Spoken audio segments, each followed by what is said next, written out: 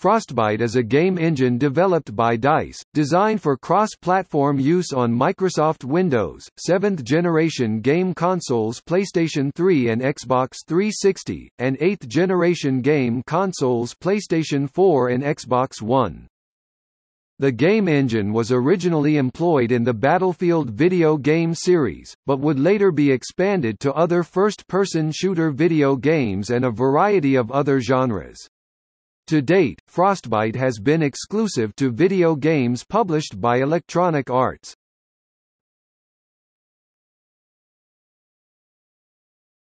Topic: History.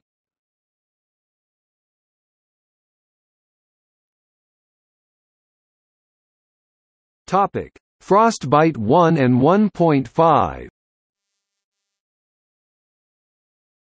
The first iteration of the Frostbite game engine made its debut in the 2008 video game, Battlefield – Bad Company. The engine was developed with an HDR audio and Destruction 1.0. HDR audio allowed differing sound levels to be perceived by the player whilst Destruction 1.0 allowed players to destroy the environment. A newer version of Frostbite would later be employed in Battlefield 1943 2009 and Battlefield – Bad Company 2 2010, which would come to be known as Frostbite 1.5. In the upgraded game engine, it was now possible for players to cause enough destruction to entirely demolish structures. This version was also employed in the multiplayer aspect of Medal of Honor 2010, becoming the first video game outside of the Battlefield series to run on Frostbite.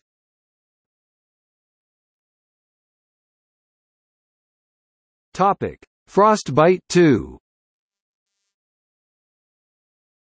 On 25 October 2011, Frostbite 2 made its debut in Battlefield 3. Also making its debut was Destruction 3.0, which made falling debris potentially lethal to the player. Further changes to the engine included the addition of suppressive fire and disabling vehicles before destroying them. For the first time in a game that was not a shooter nor developed by DICE, Frostbite was employed in Need for Speed, The Run, which was released on 15 November. It took a year for EA Black Box, the developer of Need for Speed, The Run, to repurpose the game engine for driving instead of shooting.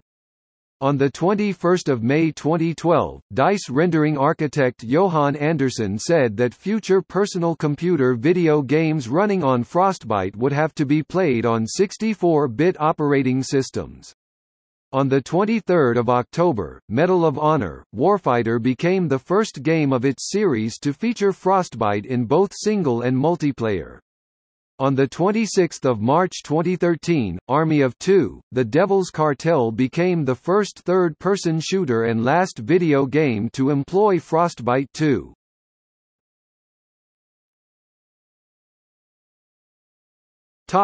Frostbite 3 In March 2013, Battlefield executive producer Patrick Bach announced that Frostbite 3 would not support the Wii U, saying that, "...the Wii U is not a part of our focus right now." The third generation of Frostbite made its debut in Battlefield 4 on 29 October. In the updated engine, the environments became much more dynamic upon the actions of the players and Destruction 4.0, which was known as Levolution in Battlefield 4. On one map of Battlefield 4, it was possible for players to destroy a dam, causing the entire map to be flooded by water. On 13 November in San Jose, Andersson announced that future Frostbite games and an updated version of Battlefield 4 would be powered by Mantle, a low-overhead rendering API co-developed by AMD and DICE. On 15 November, Need for Speed Rivals became the second game of its series to use the game engine and the first since the upgrade to Frostbite 3, first released on 19 August 2014, Plants vs. Zombies, Garden Warfare became the first game of its series to run on Frostbite. On 18 November, the game engine made its debut in the action role-playing genre of video games with Dragon Age, Inquisition. On 17 March 2015, Battlefield Hardline became the second game of its series to run on Frostbite 3. On 14 July, the game engine was introduced to the sports genre of video games, being put to use on Rory McIlroy PGA Tour. In November, Need for Speed and Star Wars Battlefront were both released under Frostbite. On the 23rd of February 2016, Plants vs Zombies: Garden Warfare 2 was released on the game engine. On 7 June, Mirror's Edge Catalyst became the first action-adventure game to run on Frostbite. On 27 September, the game engine debuted on the FIFA video game series, being employed on FIFA 17. On 21 October, Battlefield 1 became the third title of its series to be released under the third generation of the game engine. On 21 March 2017, Mass Effect, Andromeda was released on Frostbite. Madden NFL 18, the first of its series to be released on Frostbite, was released on 25 August 2017. On 29 September, FIFA 18 was released on the game engine, but the Nintendo Switch version of the game will not run on Frostbite. On 10 November, Need for Speed Payback was released, running on the game engine.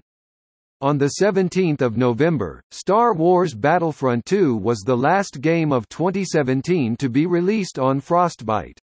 Battlefield V is running on the Frostbite 3 engine. Anthem is the most recent EA title to make use of Frostbite 3. Sources within BioWare claimed that Frostbite's complexity contributed to difficulties surrounding the game's development. List of games